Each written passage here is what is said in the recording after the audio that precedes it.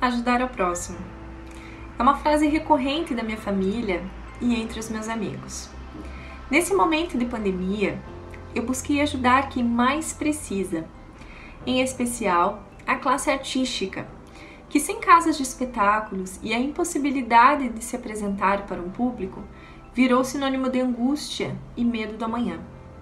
Ajudei criando pontes entre ONGs e ações solidárias voltadas aos artistas e técnicos de espetáculos.